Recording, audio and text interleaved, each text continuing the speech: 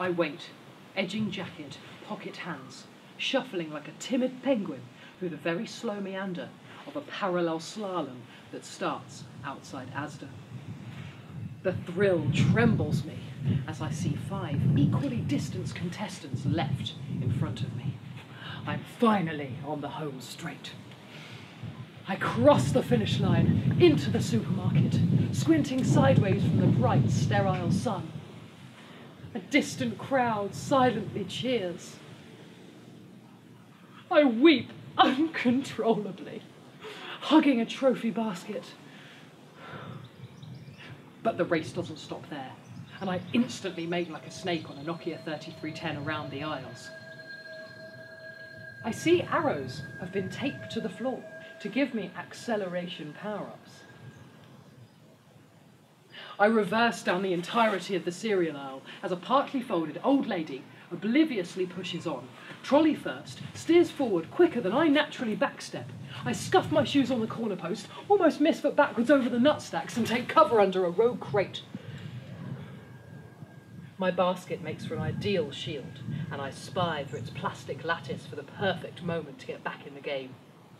The old lady skirts round the corner and disappears off into the social distance. I allow myself a whispered sigh of relief. I get up to my knees and continue on, encased in my green plastic protective gear. On high alert, my eyes snap dart in all directions. I sidestep furtively, holding tight to the end of the aisle until I see the coast is clear and make a run for the sugar. I catch my trembling breath and whip up a sharp, short pep talk and pick up the pace, hugging the perimeter. I scan the area for other players and stalk on in my powerful green getup. I see a man, also all in green, arms full of stock, hunched over the eggs, protected by a giant silver cage. Great choice of shield, I think, and divert my path to dodge his shining force field. I see a clearing and dive roll to the bread rolls. I snatch a baguette, snickering evilly, congratulating myself on an excellent weapon of choice. Crate overhead, basket in front, brandishing my new dough stick cannon. I boldly charge to a trough of potatoes. There is a large potato hovering closely above the trough, and I think, I wonder, if I jump up to it, will I absorb it like the hedgehog absorbs the rings? I approach, tentatively, stealthily. But the glorious, gleaming, floating potato swerves away. Flummoxed and momentarily dismayed, I scold myself for mistaking a bald head.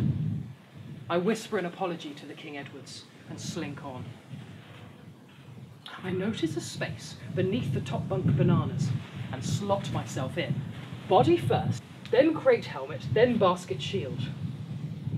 Perfectly camouflaged, I rip hunks of French baton and chew impatiently. I peek through the meticulously spaced holes, awaiting my next move. Someone from above speaks with a peg on their nose. Sheila, Sheila to the vegetable aisle, please. Ah, so this is my arch nemesis, Sheila. I smugly chortle and emerge from beneath the bananas. Standing guard with my half baguette, I puff my chest out and stare vainly into the distance. Breathing destiny. This is it. The boss level.